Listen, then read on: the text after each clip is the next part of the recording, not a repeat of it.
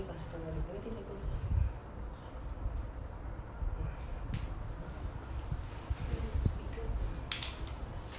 හ්ම් හොඳට එහෙම එතකොට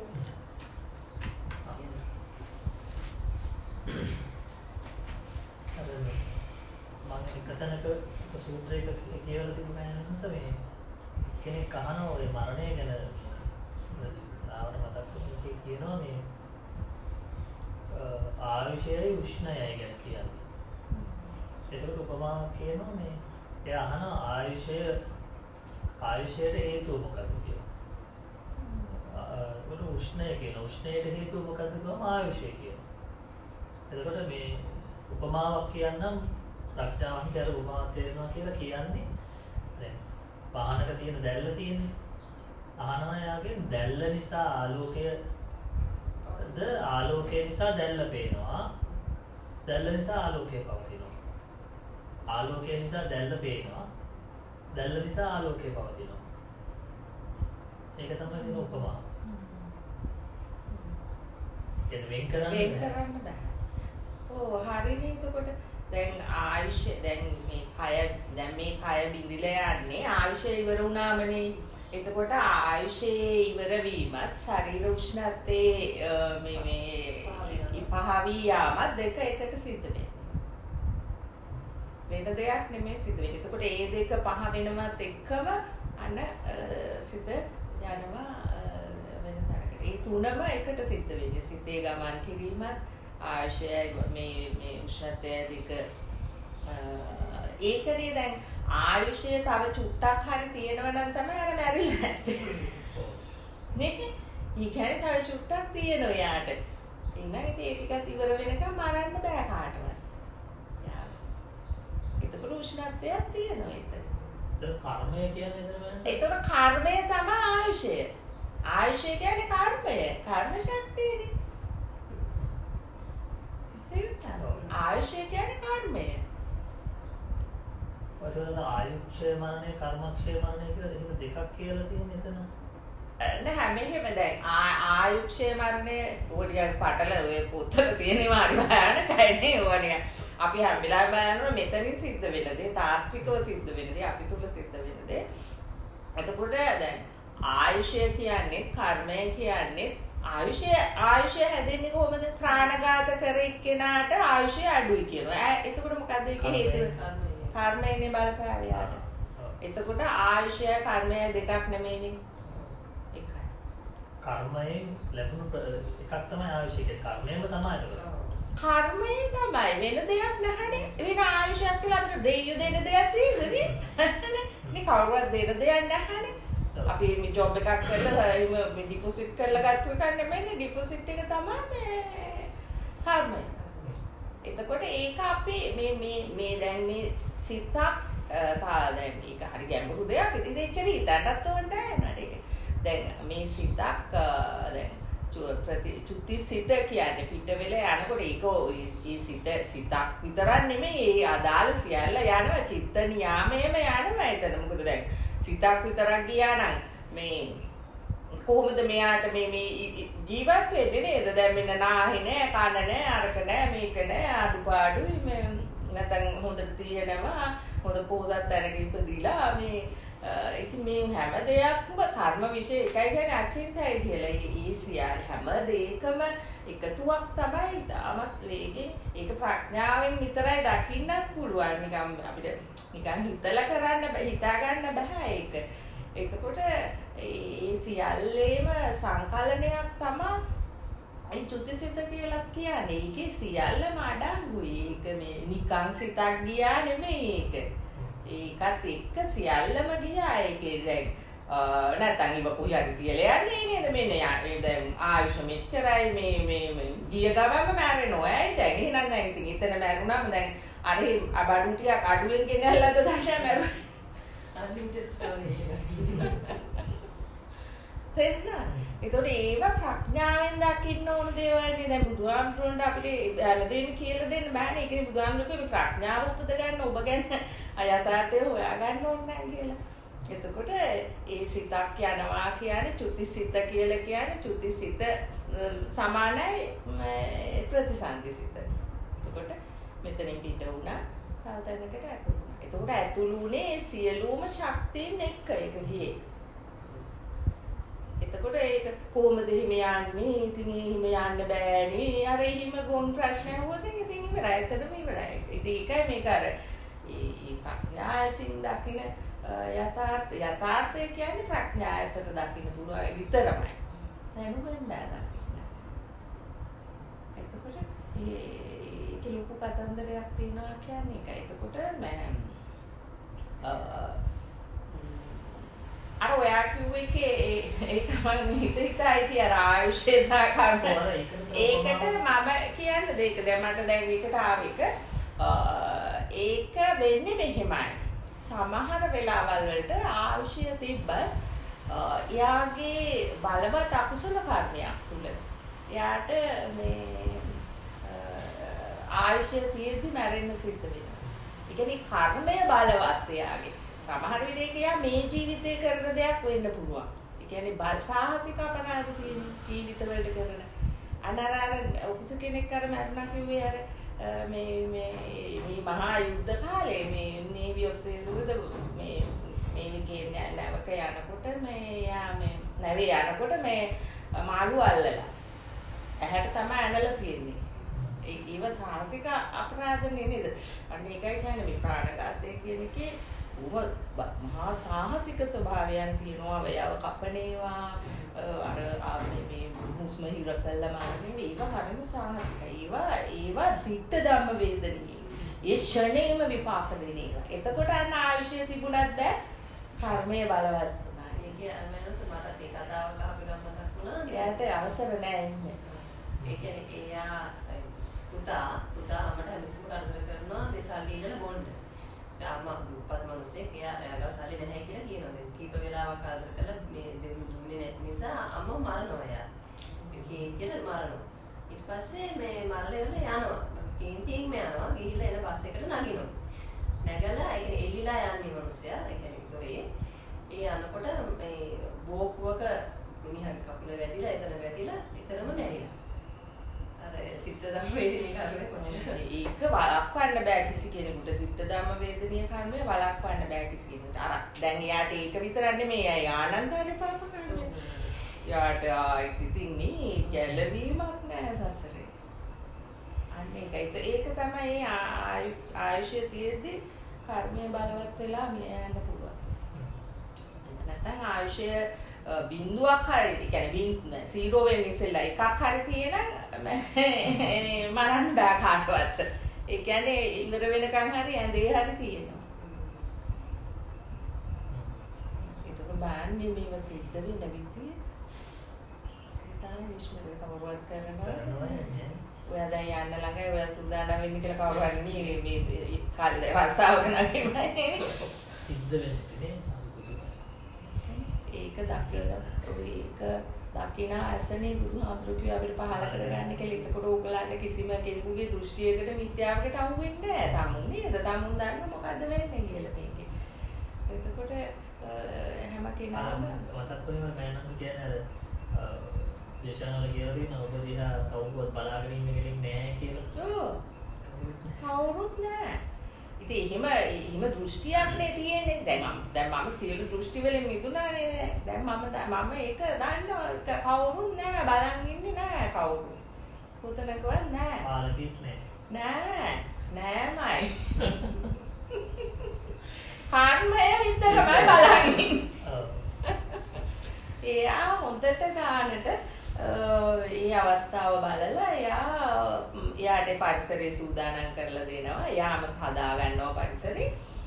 අන්න බෑන අර ඔයා කිව්වා වගේ අර බස් එකේ වදිනනේ. දැන් බලන්න පරිසරය සූදානම් කරගත්තා. ඒ පාලම ඉන්න තැනට එනකම් මූ අරන් ආව නේද? අරන් ඇවිල්ලා අන්න උත්තට අර අතිශයින් භයංකාර විදියට ඒක මේව කර කර අවිපාකය ඒක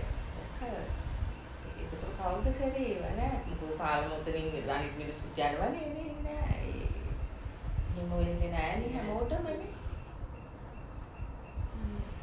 ඒක කියන්නේ අර ඒක තමයි කියන්නේ මේ තමුන්ගේ යථාර්ථය හොයාගන්නේ නැති තාක්කල් මිනිස්සු මේ මේ අන්තෝ ජටා බහි ජටානේ අකුසල් කරනවා ඉතින් දන්නේ නැහැනේ මොකද්ද මේ සිස්ටම් එක කියලා. හරි භයානකයි. ඒකයි අර දැන මේ මේ අවබෝධය මේ මේ යථාර්ථය දැකීමේ හැකියාව ඇති කරගන්න කියන්නේ ඒකයි බුදුහාමුදුරුවෝ. ඉතින් ඒක මේ මේ මේ මේ ඇත්තටම අර නිවනක් නිවන කියන වචනේත් එක්ක මේ නිවන වැරදි විදියට නේද? එවුන් ගත්තේ නේද? නිවන කියන වචනේ ආපෝ සේරම ඉවරයි දාලා යන්න වෙනෝ අපෝ අපිට නම් දැම්ම බෑ ඔබ කරන්න. අර හිම විකාරයකට නේ නේද? මේ මේ මිත්‍යා දෘෂ්ටි තුලින් ඇදගෙන ගිහිල්ලා දාලා තියන්නේ. ඔව් අනිත් වෙනස එතනද නිවන් දකින්නවා කිව්වම දැන් ආගොල්ලන්ට හිතන්නේ අම්බල නිවන් දැකලා අපි අපිට මෙතන හොඳයි වගේ එකක් එහෙම හිතන කට්ටියකුත් තියෙනවා අපලට නිකන් බලට ඕන තිතින්නේ දන්නා කපල්. එතකොට අපි ඇයි අපි නිවන් අවබෝධ කරාට පස්සේ කියන්නේ අපිට නෙමෙයි උඹලටත් ඕන මේක කියලා අය අපි කියන්නේ. උඹලටත් ඔතන කිසිම අවගණනක් නැහැ. ඔතන මහා භයංකාරයි. ඒක අපි දකිනවා අපිට තේරෙනවා අපි අවබෝධ කරා ඒක. ඒකයි අපි ගැලවුනේ අපි ඔයගලන්ටත් කියන්නේ ඒකයි. ඔයගලන් ඔතන ඉන්නේ නොදැනුවත්කම නිසායි. ඔබේ යථාර්ථය ඔබ දන්නේ නැති නිසායි ඔබ කොහොම කියන්නේ. ඒකනේ අපි කියන්නේ නේද? ඉතින් ඒකයි අපි කියන්නේ ඔයගොල්ලත් මේකට මේ මේ මේක ඇරෙන්න වෙන ගැළවීමක් නෑ කිසි කෙනෙකුට. තමුන්ගේ මේ මේ වතගොත තමුන්ම හොයාගන්න තමුන්ගේ වතගොත දන්නේ නැති නිසානේ දැන් ඕම කියන්නේ නේද මේ වැරදි වතගොතක් හදාගෙන වැරදි එකක් හදාගෙනනේ තමන් ගැන තමුන් එහෙම කියන්නේ නේද? ඒක නිසා මේ අන්න මරණය කියන එක මම කතා කරේ. මරණය කියන එක මම හරිම දැනගෙන ඉන්න ඕන අපි නේද? හැම දෙයක්ම අපි ඒ හැම දෙයක්ම දැනගන්න පුළුවන් වෙන්නේ මෙන්න මේ මේ මේ නිවන් මාර්ගයට බුදුහාමුදුරුවෝ මේ මේ මේ නිවන් මාර්ගයක් දේශනා කරේ. මේ මේ ඒක භූතයක් නෙමෙයි ඒක ආගමක් නෙමෙයි ඇදහිල්ලක් නෙමෙයි ඒක ඒක මේ තමුන්ගේ යථාර්ථය සොයාගන්න විද්‍යාස පහල කර ගැනීමක් ඒක විද්‍යාඥයෙක් වෙන එකක් එහෙම නැතුව මේ මේ මේ මේ මේ අන්ධෙක් වගේ මේ මේ මේ අර අඳුරේ ඉඳගෙන මේ අතපත ගන්න එකක් නෙමෙයි. දැන් ඉන්නේ අඳුරේ අතපත ගා ඉන්නේ යථාර්ථය දන්නේ නැහැ. ඉතින් ඒක හරියටම දැනගන්න ක්‍රමවේදය තමයි මේ බුදු කෙනෙක් මේ කියලා දුන්නේ අපිට නේද? ඒ ක්‍රමවේදය තමා තුලින් උපද්ද ගන්න හැටි. ඒකනේ අපි දැන් මේ කියලා දෙන්නේ නේද? මේ චතුරාර්ය සත්‍ය අවබෝධය කියන කාරණය කොයිතරම් වැරදි විදියටද අපි අපි උනත් ඉස්සර හිතාගෙන හිටියේ එහෙමයි නේද? එතනින් එක ඉවර වෙනවා. එහෙම තමයි එහෙම කියලානේ අපි දැන් නැහැ මේක මුළු මිනිස්සෙක් විදියට ජීවත් වෙන කෙනෙකුට අනිවාර්යෙන්ම ආයෙත් අමාරුව නොඇටි සංසාරේ බේරගෙන තෝර බේරගෙන ගිහිල්ලා නිවනටපත් වෙන තැනට යනකම් යන්නත් මේක අවශ්‍යයි දැනගත යුතුයි මේ දේ මේ දේ දැනගෙන හිටියොත් තමයි යාට මේ ඉතෙන්ට යනතුරු එයාගේ කුසලතාවයන් වැඩෙන තුරු එයාට අපාගත නොවී යන්න පුළුවන් හැකියාව ලැබෙන්නේ. ඉතින් ඒක බලන්න දැන් මේ බුදුහාමුදුරුවෝ කිව්වනේ මේ මේක හොයාගත්තේ නැති අය අනිවාර්යයෙන්ම එහෙම කෙනාට පෘථග්ජන මනසට සතර අපාය ගෙවිදුලා වගේ කිව්වා. එයා දන්නේ නැහැ කිසි දෙයක් නේද? ඉතින් එයා ඒක නිසා එයාට අවධානම මේ මේ මේ වැඩි අවධානම නේද? එයා ලොකු අවධානමක මේ මොකද මේ මනසේ ස්වභාවය ඇවිල්ලා හරිම මම අර කිව්වේ වගේ පෘථග්ජන මනස හරි භයානකයි. යාට මේ තේරෙන්නේ නැහැ කිසි දෙයක්. මේ යථාර්ථය කොහොමද සිද්ධ වෙන්නේ කියලා තේරෙන්නේ නැහැ. හොරෙන් හොරෙන් මැරුවයි කියලා හො හො හොරෙන් මැරුවට ඕ දකින්න ඕන කෙනා දැකලා තියෙන්නේ. ඉතින් එහෙම හොරෙන් මැරුවා නම් කොහොමද ඒ විපාක දෙන්නේ නේද? කොහොමද ඒ වෙලි ඒ වෙලිවේ කියලා කොයිතරම් හංගනවද සාක්ෂි මොනව හංගුවත් බෑ මරණය යාට ඒකේ විපාකය අනිවාර්යයි එහෙම හංගනව නම් ඉතින් මේ එකක්වත් එළි වෙන්නේ නැහැ නේද මේ විපාක කියලා එකක් නැහැ එහෙනම් ඇයි දැන් මෙහෙදි මහංගල ඔක්කොම ඔක්කොම සාක්ෂි නැති කරලා ගියානේ ක්ලියර් කරලානේ නම් විපාක දෙන්නේ දෙන්නේ ඔයයි විපාක දෙන්නේ ඔයයි මේ අතර මග මරලා දාන ඕ වාහන වලට චප්ප කරගෙන යනවා වාහන වල චප්ප වෙලා මැරෙනවා ඇයි ඒව? අන්න ඒ අංගම් කරපුවා. අංගම් කරපුවා එලිපිට විපාක දෙන හැටි. එහෙම බලන්න නේ නේද ඒක? එහෙම තේරුම් ගැනීම හැකියාවක් නැන්නේ මිනිස්සුන්ට. ඒකයි කියන්නේ මිනිසුන්ට හැම පැත්තෙම අවබෝධයක් ආවොතින් තමයි ඕව ගැලපෙන්න පුළුවන් වෙන්නේ. ඒ ගැලවීම හදාගන්න ක්‍රමවේදය තමයි මේ බුදුරු කියලා දෙන්නේ. ඉතින් බුදුහාමුදුරන්ගේ ඒ ශ්‍රේෂ්ඨ දහමේ තියෙන ඒ ඒ වටිනාකම ගන්න නම් අපි අපේ මනස අපි මේ වටිනා තැනට අරන් යන්න ඕන ඉස්සෙල්ලා. ප්‍රඥායස අපි හදා ගන්න ඕන. අපේ පුතග්ජන මනසින් මේ කිසි දෙයක් දකින්න බෑ. ඒ පුතග්ජන මනස හැම වෙලාවෙම කෙලෙස් වලින් වැහිලානේ තියෙන්නේ හැම වෙලාවෙම මේ මේ කෙලෙස් නින්දේ ඉන්නේ. මර නින්දේ. අර නීවරණ පංච නීවරණ කිව්වේ ඒවට බුදුහාමුදුරුවෝ කාමච්ඡන්ද ව්‍යාපාද තීන මිද්දේ. තීන මිද්දෙත් එක්ක ඊගාරම ගත්ත උද්දච්ච කුක්කුච්චාට බලලා කොච්චර හරිද නේද හැම වෙලාවෙම මනස නොසන්සුන්. ඊට සැකේ බිය සැක සෝකේ සැකින් ඉන්නේ. ඊට පස්සේ මොකද? එච්චරයි. කාමච්ඡන්ද ව්‍යාපාද තීන. ඉතින් සැකේ හරිනේ අවසාන දේ සැකේ. අනේ උඹලා නිවන් දැක බලන්න බුදුහාමුදුරුවෝ අපිට නම් ඕනේ. ඇයි බයයි? සැකේ. අපි මේ යන විදිය අපිට හොඳයි. මොකද තියෙන මිද්දේ. කෙලස් නින්දේ මරණින්ද ඉන්නේ. ඉරෙන්නා තාතේ. ඇයි උද්දච්ච කුජි මානස නොසන්සුන් හැම වෙලාවෙම නොසන්සුන්. හැම වෙලාවෙම ඉන්නේ කාගෙන හැම වෙලාවෙම ඉන්නේ හැප්පෙන්න බලාගෙන නේ. නැත්නම් ඇලීගෙන. බලන්න මේ පහේ මේ පහ හරියට හරිනේනේ. හරියට හරිනේ මේ මේ විකෘති මනසට හරියට හරි කාමච්ඡන්ද ව්‍යාපාද තීන මිද්ද උද්දච්ච කුච්ච විචිකිච්ඡ. ඒ විචිකිච්ඡාව නිසා තමයි නොසන්සුන් මනසේ විචිකිච්ඡාව නිසා තමයි හැම අකුසලයක්ම කෙරෙන්නේ. ඔව්. මෝහය තමයි මුල් වෙන්නේ. ඔය තුනේ තියෙන්නේ මෝහය තමයි. මෝහය වුණ බලන්න එතන වැඩ කරන හැටි කාමච්ඡන්ද කියන්නේ ලෝභය. ඊගොනවද? ව්‍යාපාදේ කියන්නේ ද්වේෂය. තීන මිද්ද උද්ධච්ච කුච්ච විචිකිච්ඡා කියන්නේ මොකද්ද? මුලා. නෑ කිසි දෙයක් තේරෙන්නේ නෑ. මොන ලෝභය ද්වේෂය මොහොත.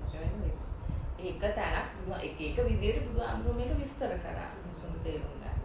ඒ හැම තැනකදම ඒකේ තියෙන මේ අර්ථය එකම දේ මේක. මනස ගැන මේ ලෝභය, ද්වේෂය, මෝහය ගැන තමයි මේ කතා කරන්නේ බුදුහාමුදුරුවෝ. මුලාව තමයි. එතකොට ලෝභය එක්කත් මුලාව තියෙනවා, ද්වේෂය එක්කත් මුලාව තියෙනවා.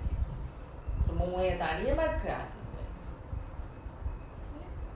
එතකොට ලෝභය කියන්නේ ඉතින් ඇලීගෙන ගැලීගෙනනේ ඉතින් දැන් බලන්නනේ මනසට මනසට නෙවෙයි ඇලිලා ඉන්නේ. අපි ඒක දන්නේ නැතුවනේ හිටියේ කුච්චර කාලයක් නේද අපිට ඒක හොයාගන්න බැරුව අපි මේ අපි හිතාගෙන හිටියේ අපිට මේ බාහිර ඒවත් අරගන්න බැරුවයි අපි මේ දඟලන්නේ කියලා නේ. මුලාවකනේ හිටියේනේ ඔව්. ඉතින් යන්න බලන්න මේක එළි වෙනකොට මේ බාහිර රූපයක් කිසිසේත්ම මේකට වග කියන්න ඕනේ නැහැ. කවුරුවත් සසර යන එකට බාහිර රූප වග කියන්න ඕනේ නැහැ. ඒගොල්ලෝ වග කියන්නේ ඒගොල්ලෝ වග කිය ඉතින් අර දැන් මේ දැන් මේ ලෝකයක් කියලා ගත්තොතින් අපි දැන් අපි රූපය අපි පොඩකට ඩිලීට් කරමු දැන් මනසයි රූපයයි දෙකනේ එකට මේ වෙලා තියෙන්නේ. එතකොට අපි දැන් රූපේ ඩිලීට් කරනවා. මනස විතරයි තියෙන්නේ. හැම තැනම එතකොට තියෙන්නේ මනස වල නේද? එතට ඕව හදාගත්තන ප්‍රශ්නයන එතට ලෝකය කියල කියන අපි ඔය මනසවල්ලින් එකතු වෙච්ච දැනකට නේන ඇතිකොට ඔය මනසවලට ඔක්කොම තනිතානයෙන් හදාගත්තන ඒ ඒක තම බුදු අන්ුරු කියලපු තමුන් නිහට වෙන්න එතකොට ලෝකයම නිහට වේ තමුන් නිහලුණු ලෝකයම නිහට වේ තුර මම නිහටයි මේ හතරම නිහඬයි. අයි තම තම දැන් නිහඬ වුණානේ. දැන් ලෝකේ නිහඬද නැද්ද? කුල්ලක කා ගන්න ස්වභාවය නැහැ. ඒකට කරන වැරදි අඩුපාඩු වෙන ස්වභාවය නැහැ. නෑ. එතකොට යථාර්ථය තුළ කර යුත්ත දන්නවා නොකළ යුත්ත දන්නවා.